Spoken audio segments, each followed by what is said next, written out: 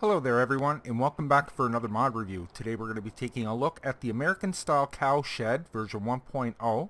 This thing is huge. It's able to hold 250 cows. File size for this is 29 megabytes. So what I'm going to do is explain a few things regarding this mod. We'll go over the shop and check out some of the specs. Then I'll set a few things up and show you how this works. So let's get started. Okay, so once again, this is the American style cow shed version 1.0. The file size for this is 29 megabytes. Price in the shop to purchase is 220000 with a $100 a day upkeep. Capacity of this is 250 cows you can fit in this. You can fill this up with five different resources to feed your cows. TMR, which is total mixed ration, hay, silage, grass, and water. We'll go over the shop and take a look at this. Located under placeables, of course, under animal pens, all the way to the end. There it is there. 220,000 there's all the things you need to fill it up. And it holds 250 cattle so very nice. You're gonna need a big flat piece of land to put this on guys because it is quite big. So the first thing to take notice to is the doors that can open here with the press of the left mouse button I already have a bunch of cows in here guys. I actually have one more load over there. There's a few things I'm going to uh, fill this up with. The last load of cows there that will put this up to exactly 250 now there definitely don't look like there's 250 cows here.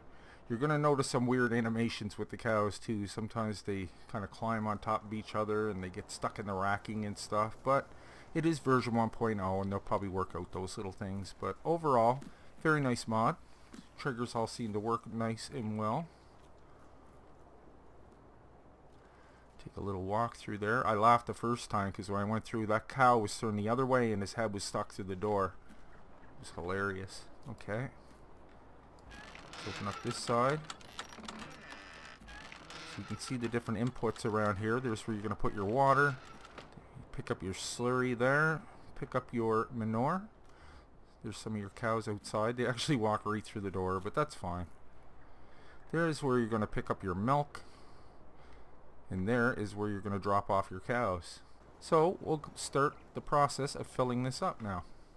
Okay, we'll start off by dropping off the last of the herd here. That'll bring it right up to 250 maximum.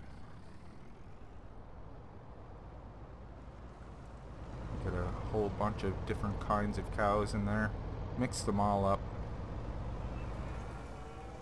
There's one thing about the animal statistics screen that I'm not too crazy about, and I wish they'd list the total number of cows you have instead of each type. Because when you have a lot of them, there's a little math to do.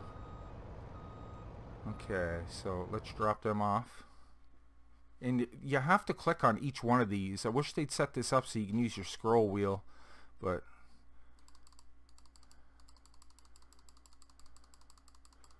Okay, we are at full capacity here. Yeah, it doesn't give you your total. And if you go to your animal screen here, it doesn't, yeah, it just says like how many of each type of cow you have. Confirm. Okay, let's get this guy out of the way. And we'll move on to our total mix ration. Might as well get that in there.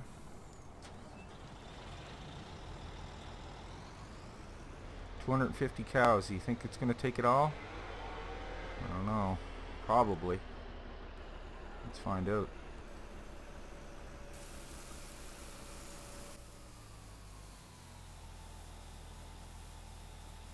Every last grain it took. Okay, let's see how... Oh, look at this. You got a long way to go there, son. Okay. That should keep them filled for all of 10 minutes. Really like this placeable, though. It's perfect for this map. By the way, I'm testing this out on the uh, Michigan map. This is a pretty flat map, so it's great for that. It was a perfect spot right here on the farm to drop that down. So that kind of worked out good. Okay, let's move on to the water.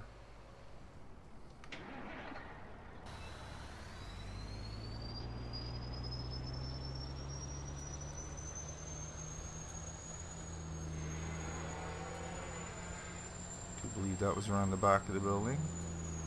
Yeah, right next to the slurry pickup. Let's bring up my HUD here so you can see the water going in. There we go.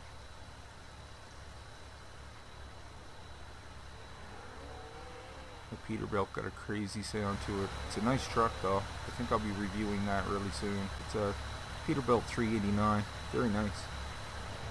Alright folks, I went and got 150,000 liters of straw and I totally forgot about it so I had to harvest, do some harvesting but we get a pile of straw on board here. Should be able to fit in this door, I'm hoping. That way we can, I knew there was no hit detection on the, the windrower itself.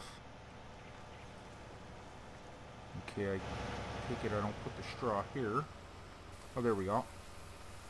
Just a little bit further up. So I'd say it's going to take all of that, most likely. Then we can get production underway and test the triggers. While we're ramping up production here, I uh, decided to give you a look at this in the nighttime. See, it's all lit up there. It's kind of dark inside though, isn't it? Too bad there wasn't some light switches in here. Needs a little bit of lighting. Any advice I could give on the next version is put some lighting in here. That would be fantastic. It's a little bit lit up here, but that's more coming in from outside, I do believe. And we got some lighting on this side as well. I just wanted to show you too, I'm nowhere near inside there, and actually the back of my tipper's facing the other way, but look, I'm getting the trigger to unload this, but so you could probably drive by the front of these doors and just let that go. So just a little tip there. Okay, so after fast forwarding to the next morning, you can see everything's underway here, everything's producing. Got some manure, some slurry, and some milk. Jump in here first. We can see that there's some manure made. Let's stop time here. We need to keep that going. Let's make sure indeed that it is manure. Yes, it is. Look at that. Got a big old mother bucket on this holds all kinds. So that works just fine. Next up, we'll try grabbing some slurry out of the slurry tank. So th only those big doors will open, no other ones will.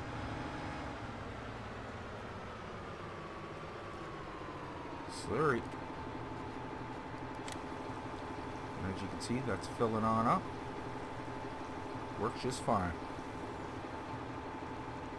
And lastly, we'll test out our milk trigger. Right up by the silver tanks and the uh, pylons. milk. Start filling that up. Milk production is well underway. I'm fill this thing up no problem. So, there you have folks. That was the American Style Cowshed version 1.0 holds 250 cows. File size for that was 29 megabytes. Additional information and links can be found down below in the description guys. I really hope you enjoyed today's review.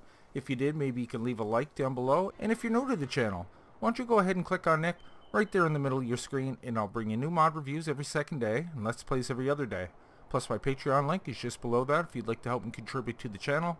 It really helps out. So until next time, take care and I will see you all in the next one.